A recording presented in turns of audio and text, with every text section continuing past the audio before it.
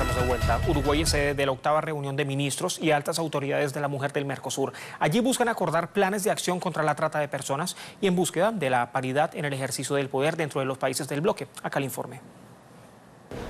Los problemas de la desigualdad de género en los países del Mercosur se abordarán en una reunión de ministerios de la mujer que en su octava edición se centrará en coordinar acciones concretas de combate a la trata de personas con fines de explotación sexual. Nosotros tenemos una agenda muy nutrida, la reunión de las eh, ministras y altas autoridades vienen trabajando desde hace eh, mucho tiempo en lo que nosotros llamamos una línea permanente de actuación regional de combate a la trata de mujeres.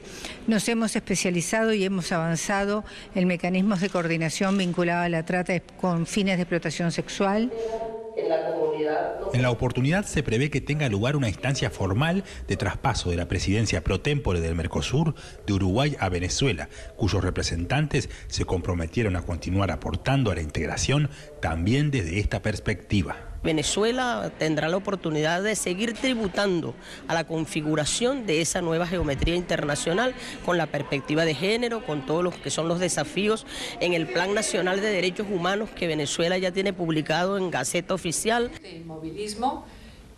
Otro de los temas que se abordarán en este espacio de alto nivel será el de la lucha por la igualdad en el acceso al poder dentro de un concepto más amplio de democracia paritaria. La paridad es uno de los propulsores determinantes de la democracia cuyo fin es alcanzar la igualdad en el ejercicio del poder. El concepto de democracia paritaria es integral y va más allá de la representación cuantitativa de las mujeres. Las organizaciones han destacado que de la octava reunión de ministras y altas autoridades de la mujer de Mercosur se espera mucho más que declaraciones políticas y se comprometen a resolver acciones concretas en conjunto. Mauricio de los Santos, Telesur, Montevideo, Uruguay.